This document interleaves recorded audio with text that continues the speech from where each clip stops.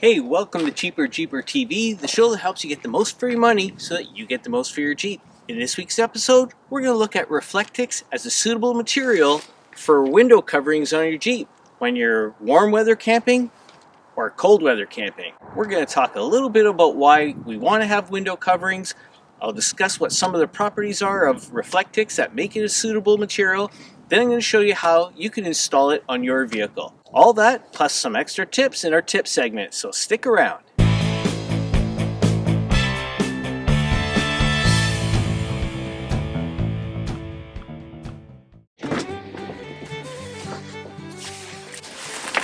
Okay, first let's talk about why I want to put window coverings on my Jeep. Well, first reason would be to provide some privacy. My wife and I go camping in the winter and the summer and on the channel, there's a playlist of camping videos, which also includes how we pack for camping. And you'll probably have noticed we didn't have window coverings in that list.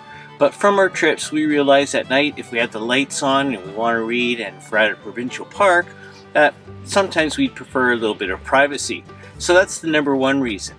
Another reason, for example, is when you're camping in the summertime, if it's hot, by putting a window covering in the window, it'll have the sun get blocked or reflected from shining on the dash and heating up the interior of the Jeep, making it uncomfortable to sleep in at night. And finally, during winter camping, when I had some venting in the windows open, or even just from the windows being just glass, cold would permeate through the glass and make it a little bit uncomfortable. So part of the plan by having a window covering is to provide some barrier between the cold windows and the interior. Good job. I'll take it over. He'll take it over from here. So now that we know why we want to have window coverings, the material of choice is Reflectix. And we could have used material and we would have had to have come up with a way to secure it and from what I've seen online about how people use Reflectix, it seemed like the easiest way to go. Plus, it has some properties to it that make it beneficial. For one, you can see there's foil on both sides of the product, so that'll give you some reflective properties. For example, when we put it in the windshield, the sun's light will reflect off of the material and it won't get into the Jeep heating it up. And then it also serves as a radiant barrier, so for example in the winter time when I have this up against the windows, the radiant heat that's in the Jeep will reflect back off of the product. So those are the properties of this material, along with the fact that when it is on the windshield, I'm hoping that it'll also reduce the amount of condensation that occurs on the glass because of this barrier. Okay, so how do you install this in your Jeep? Well, if you have a JL or a JT, you could go off of these measurements that I have up on the screen right now. What I've done is I've gone and measured the width of each of the windows and added a quarter inch and then the height of each of the windows and added a quarter inch. And the reason why I did this is when you go to a 4 foot by 10 foot sheet, you can use the measurements that I'm providing for you and that'll give you the rough measurements of what will fit here and if there's any curves or bends you can then as you're test fitting those sheets just trim them so that they fit perfectly.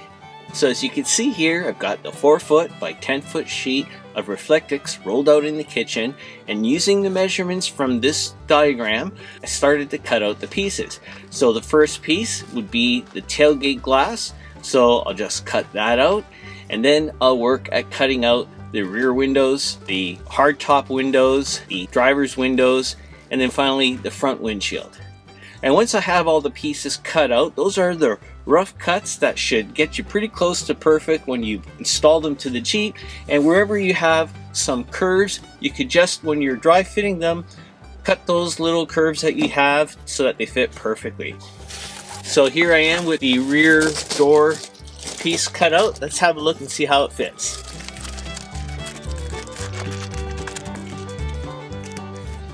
So for the rear door, using the piece that I've measured out and cut out, it fits perfectly in place just like this. Let's move on and do some of the other pieces.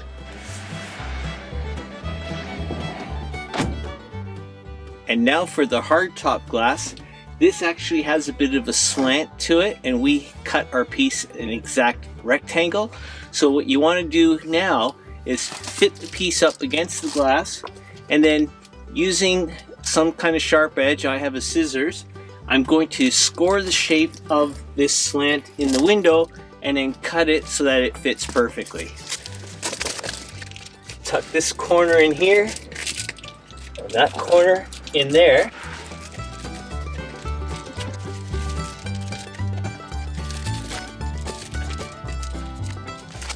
Now I just scored the shape into the foil. I think you can see it right here.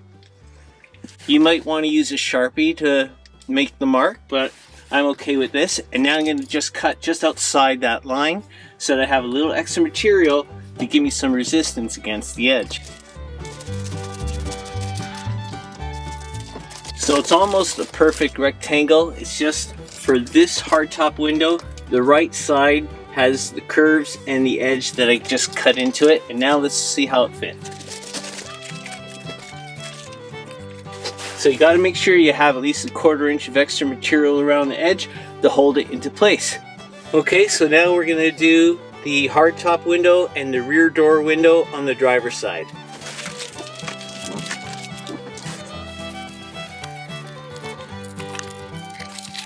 So once again, I've scored into the Reflectix, the line that I want to cut out. You could use a Sharpie. I'm okay with doing it this way and make sure you just cut outside that line so you have a little extra material to give you the resistance to hold the sheet of Reflectix in place. I guess the other way to do it is you could just trace from the one that you just cut because two sides are exactly the same. Alright, now the rear passenger window. So now we'll move on to the front door windows.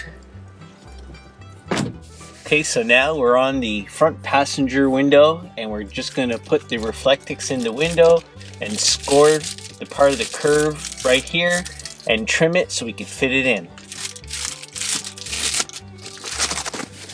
Just gonna cut just on the outside of the line so I have that little bit of extra to offer the resistance when I wedge it into that area. All right, let's head over now to the driver's side. Okay, now we'll do the same on the driver's side window and we'll just wedge the Reflectix in and score the edge right here of the curve. And we'll just cut along the outside edge of that so we have a little extra material for resistance. There you go. Now let's move on to the tailgate. Okay, and now for the tailgate piece. It's a bit of a larger piece to work with rather than those side window pieces, but there's a couple things we also need to take into consideration. We've got the windshield wiper motor right here, so we'll have to make a little hole for that. We've got the washer sprayer hose right here, so we'll just cut a, a little notch in the top of the Reflectix so it can just slide right over that. And then you have to be careful around these defrost cables here. So we'll just also cut a little notch so that the Reflectix can just slide up there. Then we've got the struts right here for the rear window where there's a bracket attaching to the window here and then there's a bracket attaching to the hardtop right here. So to deal with that, I just cut a notch right here Just cut a notch on this side, as well as on this side, that I'll slip this piece over the bracket and this will go behind the strut and it'll help to hold this big piece in. So let's fit it in now. Um, I've already trimmed the edges and I'll put the dimensions of this exact piece on the screen for you to see. And now let's see how this can fit in.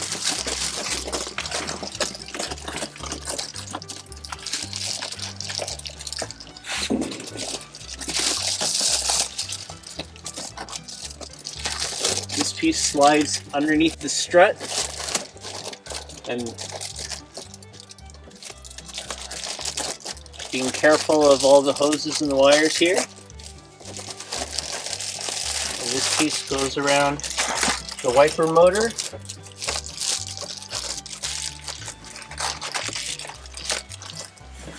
And there we go. Now we've got the Reflectix on the tailgate glass. And now all we have left to do now is the windshield. So let's get going.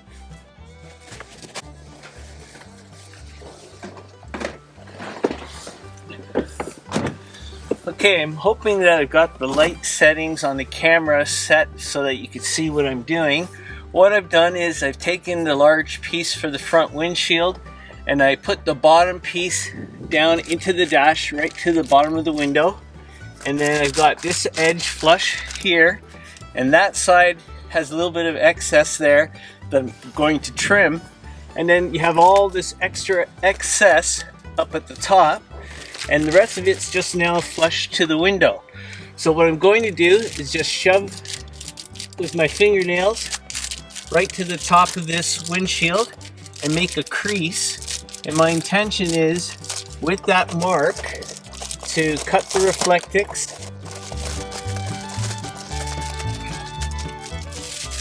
And I'll cut the Reflectix where I score this line. And of course I'll, I'll cut the Reflectix just on the outside edge of this line that I'm scoring with the edge of my scissors here. Okay, so now I've scored this line. Let's have a look at it. Okay, so I can kind of see the edge that I scored with my finger and the edge of this scissors. So I'm going to cut just a little bit on the outside of that so I've got some pressure and resistance to hold this in.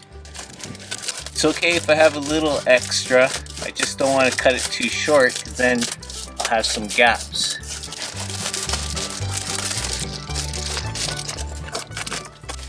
Okay, let's see how this now fits in. Shove it in there and then go behind the mirror. If you have adaptive cruise control, you'll have to cut a notch for that behind the mirror there you go. It's all done. And if you wanted to mess with it a little bit more just to get it perfect you can. But it's kind of nice that you just shove it in there and the resistance of the Reflectix holds it in place. So now we're all done and you might be wondering well what are you going to do with these when you're not using them? Well these things roll up or fold up. They're very durable and they hold up very well. And they could just be shoved above the roll bar and be tucked out of the way there. But let me show you a couple things that I have that you may have seen in some prior episodes. Okay, so here's the tailgate piece just folded in half. This is the rear window. This is the front window. And then the hardtop windows. And then this is the windshield folded in half. So now this is all the window coverings I have right here in this nice little package. And I could easily just shove this above the roll bar. But you might remember in this gift idea video, this mesh that straps to the roll bar and it could be just above here, the rear seats, where I could store the Reflectix up in here along with some other items. But also, if you saw the Storage Attic shelf video, I could store the Reflectix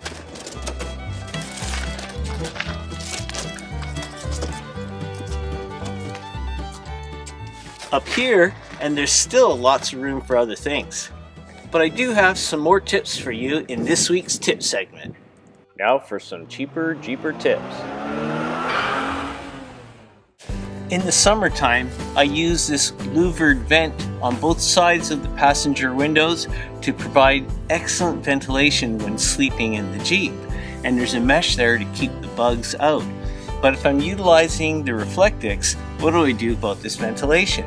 Well, here's a tip. First thing, what you should do is take one of the Reflectix for the rear window and then cut a hole in it where you want the ventilation to occur. And that's fine because it would let the ventilation through. But then if it was in the wintertime and you didn't want to do that, what do you do?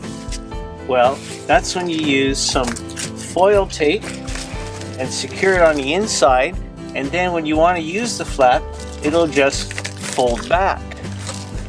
Let's have a look. So now in your rear window, when you want ventilation, you, the hole that you cut out is secured by one piece of tape down here and you put a piece of tape to use as a tab and you can do that on all the pieces of Reflectix to help you pull them out. But in this case, we open the flap and that allows for the ventilation. And when you don't want all that ventilation, just close it up. And another tip is to use the ends of zip ties and shove them into places where you want a little more secure connection. Now in the winter time, I won't have this window open at all and the Reflectix will be shut like this, but I still want to make sure I get ventilation in the Jeep. So here's another tip. Now when I'm camping in the winter time, I don't use those vents because it would be way too cold in the Jeep and it would let out any of the heat that we have. The thing is, with all of the cold that went through this glass, I could feel it when I was sleeping in the Jeep and it was uncomfortable. So that's where I hope the Reflectix will come in handy, but I still want to have ventilation. You can see here on my Jeep I've got these window vent covers right here. That would allow me to open the front window about an inch and allow some ventilation. But if it's winter time I'm going to have the Reflectix there. So let's have a look at a solution. Just like I showed you with the back window in, in the, that application it would be for the summer I've got these little tabs here on these pieces that I've cut with the foil tape at the bottom. It allows me to open them. And I could have now controlled ventilation in the Jeep in the winter time with the Reflectix on all the windows. Now, if I was going to use this technique for the summer, I'd want to use this adhesive backed screening can see I have it right there that I applied to the back side. And then of course I could use my zip tie idea if I wanted to keep these things tucked in in place but I'm pretty comfortable with the way they are and I'm pretty happy with this solution. So now that I have this Reflectix window covering solution for warm weather and cold weather camping, I'm looking forward to using these. So if you haven't subscribed already, make sure you click that subscribe button and the alert bell so you'll be notified when those videos come out. Now let's hear from our subscribers. And now for subscribers tips. This week's subscriber tip comes from our windshield defrost hack update video. Hey Cheaper Jeeper TV, how secure are the plugs once installed? Dash rattles drive me nuts. Signed, The Lone Wolf. Hey, The Lone Wolf. Interesting question. In fact, I've read in the forums that some people use electrical tape around the plug's threads to help them stay in more secure. And if you have any tips that you'd like to share, please feel free to put them in the comments section below as they may make it into a future episode. Thank you very much. Hey, that's it for this week's episode of Cheaper Jeeper TV. I hope that you found it helpful, and if you did, how about giving the video a thumbs up? And if you're new to the channel, click here on this subscribe button and then the alert bell so you'll be notified when the next video is released. Until next week, I'm Dino for Cheaper Jeeper TV. Be well, stay safe, take care.